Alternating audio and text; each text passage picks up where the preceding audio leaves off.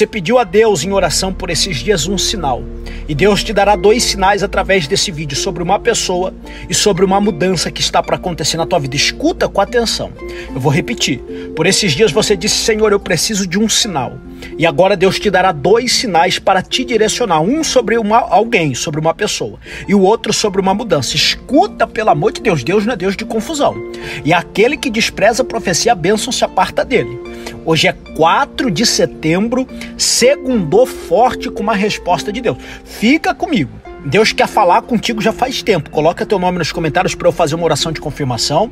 Deixa o coração para fortalecer, me proporcionar e me siga para revelações de Deus todos os dias. Você está aflita. A tua vida tem vivido uma grande reviravolta. Você está vivendo um turbilhão de emoção, as portas se fecharam e você está preocupada. E diante de tudo isso que aconteceu, você conheceu uma pessoa. Escuta isso daqui com muita atenção. Você pediu um sinal a Deus. E Deus te dará dois sinais. O primeiro, Deus está dizendo: tenha paciência. Essa é a pessoa que Deus vai sim colocar ao teu lado para te auxiliar, mas não agora. O teu momento não é um momento de se relacionar novamente, é um momento de se restaurar. E Deus está dizendo para mim que o teu coração está vulnerável. É por isso que as pessoas conseguem entrar na tua intimidade, conseguem entrar dentro da tua intimidade fácil, porque você está ferida, você está com seu sentimento abalado e qualquer um consegue sim se aproveitar dessa situação. Só que Deus está dizendo que essa pessoa que se aproximou de você é uma pessoa do bem, sim.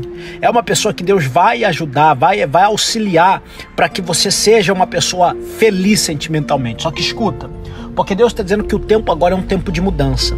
Tem um sinal de Deus para você que é mudança. Deus está dizendo tu vai mudar tá? Eu vejo você mudando literalmente em todos os aspectos da tua vida, desde o geográfico até o sentimental. Eu vejo Deus restaurando, consolidando, fortalecendo, edificando, trazendo força, trazendo ânimo, trazendo garra para a tua vida e o nome do Senhor sendo glorificado. Você hoje não consegue compreender a dimensão das bênçãos de Deus para a tua vida. Mas o Senhor está dizendo: descansa o teu coração, tenha de bom ânimo, pois eu sou o Senhor que vou contigo, vou na tua frente, abrindo caminho, quebrando a corrente, vou tirando os espinhos, vou ordenando os anjos para contigo lutar, e a porta que eu tenho para abrir ninguém vai fechar.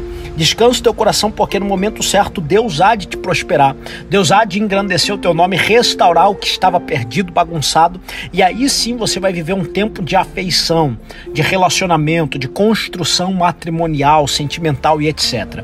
Então Deus está dizendo: cuida da tua saúde emocional, deixa eu restaurar o que tem que ser restaurado, coloca nas mãos de Deus aquilo que tem roubado a tua paz, porque há um tempo de mudança essas mudanças chegando, você se reestruturando, você se adaptando ao novo, à nova etapa que Deus tem para tua vida, aí sim eu vejo você muito feliz emocionalmente, muito feliz sentimentalmente e o nome do Senhor sendo glorificado sobre a tua vida toma posse.